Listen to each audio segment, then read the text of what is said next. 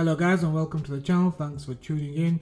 So today I am going to be unboxing and also reviewing Monark Deluxe Edition for the Nintendo Switch. So without further ado, let's get into the video. So first and foremost, I just want you to know that I didn't know myself that this game actually comes with uh, two, three additional things. It comes with a reversible sleeve, it also comes with a fully coloured art book and also a digital soundtrack. Now the soundtrack to this game is amazing but we'll get into that further on once I actually review the game.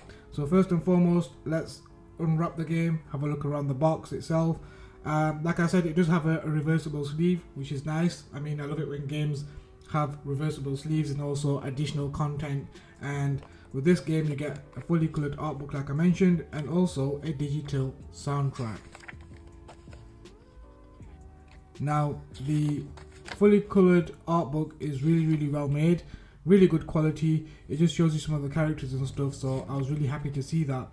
And origin originally, I was actually uh, a bit on, on the fence, to be honest, with this game because it is a bit of a dark game and I, after playing Shin Megami Tensei 5 I didn't really want to be playing another dark game but then my friend said look go and find out do some research about the game and stuff and then you'll be able to make a more sound and informed decision whether you want to play this game or not so I went away and learned that this game is developed by Furyu Corporations and also published by NIS America now these people also worked uh, on Shin Megami Tensei so it does have a, a real resemblance to SMT and also has a real resemblance to Persona as well.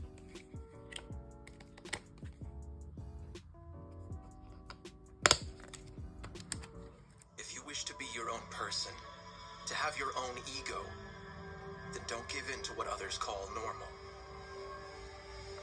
Only you can defend your will and desires, your beliefs and morals. Because in this unjust world formed of incomplete thoughts, your ego is what makes you who you are. Should the world deny your ego and refuse to accept it, then prove to the world that you live by your own rules.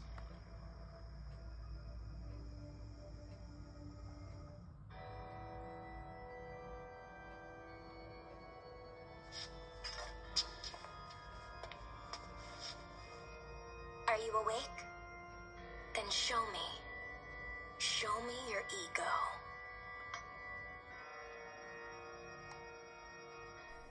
So it all starts with your character waking up in the Shin Mikado Academy, a school that's being cut off from the external world by these other entities, obviously that are demonic of nature. So basically, people with strong egos were able to make pacts with demons that represent the seven deadly sins, if you were, uh, and becoming pact bearers.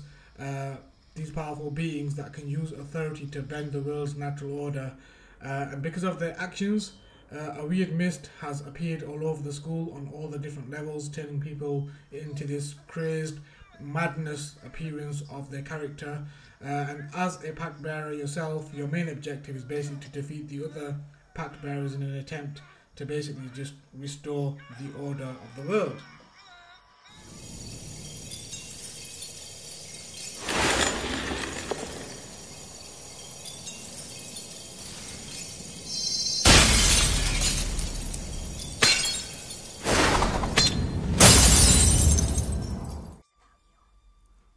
Monark is a game that will actually ask you a lot of questions and depending on how you answer the questions will determine the outcome of the game.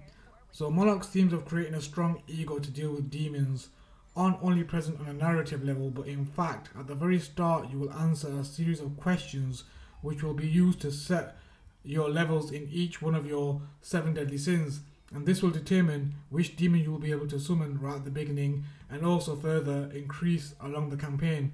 So with new demons added to your party over time, this is a very interesting system that may result in an easier or a harder way of playing very early in the game. So as you uh, progress further, as the chapters go on in the game, um, more characters will join your party as well as the boost they offer to your team. So these characters will also be closely linked to the game's progression and the narrative of the game as well. There is some character specific events that are good and bad. So there is strengths and weaknesses to both of these. So by giving each character their own chapter, the game can explore character specific characteristics and backstories, which is done good sometimes and sometimes to be honest with you it's kind of a, a missed opportunity because some of the actual characters backstories feel really bland and feel more like a drag and more of like a chore to be honest i've completed the game and you know some of the some of them characters i really don't want to go through and play this game again because of those chores and stuff and just the way that they just dragged it out and it was a bit unnecessary to be honest Oh, right. I haven't introduced myself yet. My name is Nozomi Hinata. I'm a third year here at the Academy. Nice to properly meet you. Thank you for your help in the other world. You're the reason we were able to make it back safely.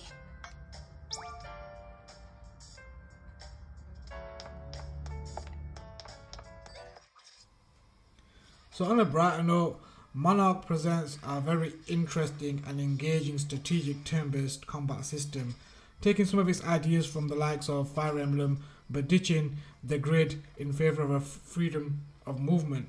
Monark builds a very deep combat system where you need to constantly balance the risk and reward behind each movement. So the theme of getting mad is translated to combat where you will be able to increase your insanity meter when using certain magic skills. So once it gets to like 100%, you lose control of your character and they will attack anything that's near them with increased power.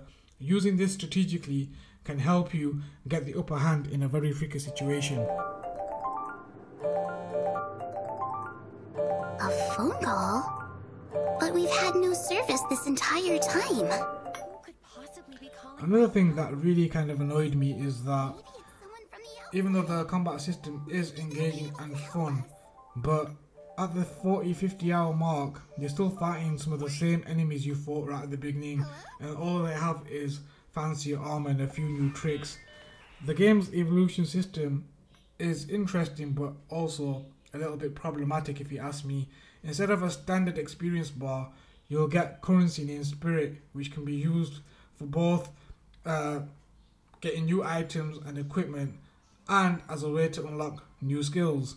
Now, that being said, imagine you get a character that you, know you're gonna get at the 40 hour mark, they're gonna be on level one, and if you haven't got enough spirit, you're not gonna be able to you know evolve that character unless you've been saving it at the cost of basically getting more experience for your current team. It's just annoying. That was really annoying. I think that's where they fell short, and they should have you know thought about that a little bit more. At least bringing a character up uh, in the middle of the game or a bit past the middle of the game. At least give them at least a level 21 or level 22. But no, they start on level one. So there's that to think about as well. So just to summarize, the game has a dark story that involves demons and anime tropes. Monark presents a Japanese style RPG experience that comes with many unique but I'm sad to say half baked ideas. While it has a deep and interesting combat system, the other elements are either badly implemented or underdeveloped. So they really needed to spend more time on this game. And I think if they do make a part two, they should really consider some of the places where they actually fell short. For example, using the same enemies over and over again is a real big downfall for myself.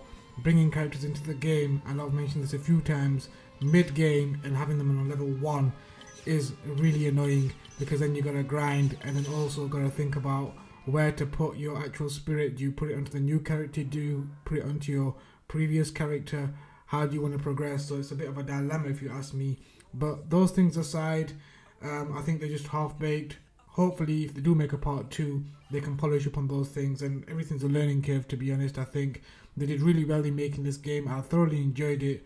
Aside from those, you know, problems that it had. But moving forward, I want to give this game a 6 out of 10.